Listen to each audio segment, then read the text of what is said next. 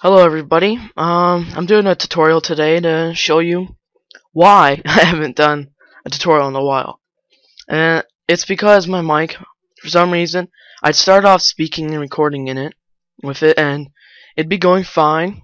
And then when it hits around the 30 second mark, it, the voice would just drop really low and you couldn't hear anything I was saying. So I found out what the problem is. I don't know why this was causing it. But I'm just going to show you how to fix this problem in case you ever get it. I'm using one of the Turtle Beach products that has the microphone and headset.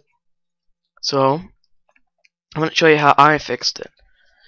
So what I did is first I tried to mess with the microphone boost, but um, everything was kind of weird and you couldn't really understand it. So what I did is I actually went under enhancements and I actually disabled acoustic echo cancellation.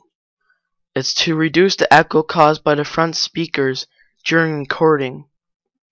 So I don't know. Is I guess it kind of thought my voice was an echo and it was reducing that because if you turn up the volume really loud on my recording, you could hear my voice still, just that it was really hard to understand. So it was, in other words, canceling my own voice, so I had to disable that. So now that works. Now I'm going to be making another tutorial after this, so enjoy that video too after this then. Thanks for watching. Stay tuned for more videos.